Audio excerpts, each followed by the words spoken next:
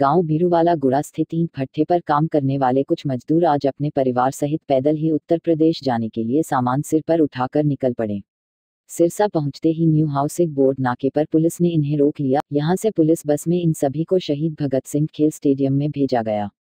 यहाँ सभी मजदूरों का मेडिकल करवाया गया और यूथ हॉस्टल में बनाए गए शेल्टर होम में इन्हें रोका गया। प्रशासन ने सभी के रहने व खाने पीने की पूरी व्यवस्था यूथ हॉस्टल में कर दी। शीघ्र ही इन मजदूरों को उत्तर प्रदेश के लिए रोडवेज़ बस से रवाना किया जाएगा। कहाँ से आए हैं? हम आए हैं बीरूवाला भट्टे पे से। तो अब कहाँ जा रहे थे? अब यूपी को जा रहे थे।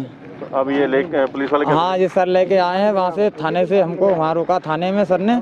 तब वहाँ से हमको ये गाड़ी भेजी है तो कहा कि यहाँ जाके आपका मेडिकल हो जाएगा फिर आपके लिए यूपी के लिए व्यवस्था करी जाएगी। कितने लोग हो कितने लोग? हम सब ऐसे तैतालीस तैतालीस बंदे हैं सब मैं बाली बच्चे से पूरे परिवार से।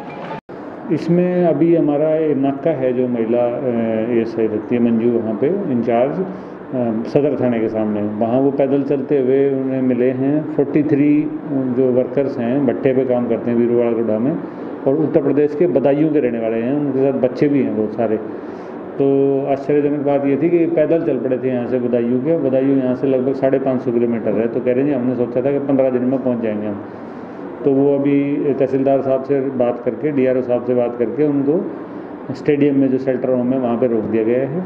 कल या परसों में जैसे ही हरियाणा राज्य परिवहन की बसें हरियाणा सरकार की तरफ़ से जो यूपी के जो वर्कर्स हैं उनको छोड़ने के लिए जाएँगी तो उसमें इनको भेज दिया जाएगा। ये कल या परसों तक घर पहुँच जाएँगे शाम तक। तो अभी मेडिकल जाँच हो वहीं पे मेडिकल जाँच होगी इनकी खाने पीने की व्यवस्था होगी इनकी और सारा वो कोऑर्डिनेट करके सारी व्यवस्था की जाएगी।